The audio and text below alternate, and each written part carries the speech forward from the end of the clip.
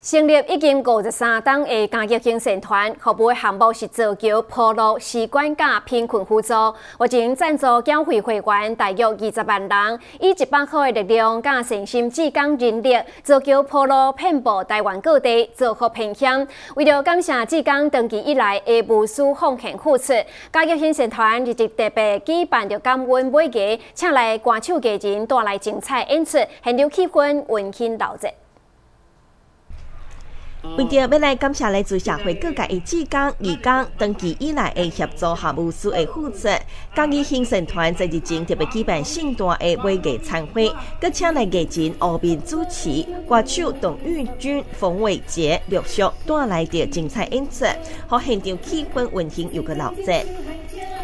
包括伫法务部政务处长蔡必忠、嘉义县长翁章良、议长张明达、含立法委员李俊业等等的贵宾拢亲自到现场，向行善团含志工来表达感恩。李处长介绍嘉义行善团最近这几当来投入各项公益活动的推动，强调未来会持续来结合着众人的力量，造福社会。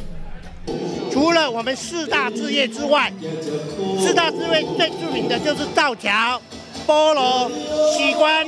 济平，阮一年当中做足济，啊，阮需要足济足济资源，嘛要利用这个机会，呼吁大家，啊，会当的时候，拿咧做政福田，免阁考虑啊，来甲阮行政团，甲阮到帮单，甲阮到扶持，互阮有较济创造资源，会当来为咱啊台湾这个土地需要的所在，甲需要的族群来甲因做。啊，服务帮咱的看过。啊，就今年我们在下个礼拜二十六号跟二十七号，我们也配合台湾盘龙自在门协会，我们发放冬令送暖的活动。阮还编五百份的红包，啊，就阮合起拢一千块。后来二十七号配合全国的创世人安华安基金会办。大嘉义区的韩式三年吃饱活动，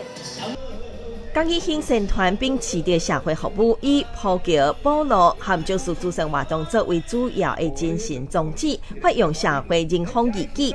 结合社会大众的力量来净化人心，造福社会。数十当来义行受到社会各界肯定，在岁末寒冬之际，公益行政团特别透过感恩餐会来感谢众多晋江长期以来的协助和支持，并希望借助凝聚诚心的力量，持续为社会公益来努力。最新新闻就丁顺王小山加一起采访报道。